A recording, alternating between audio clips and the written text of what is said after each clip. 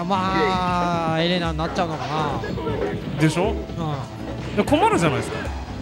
じゃあ茂樹さんのお友達でサード興味あってな可愛い女の子使いたいんだよねって言われたら困りません？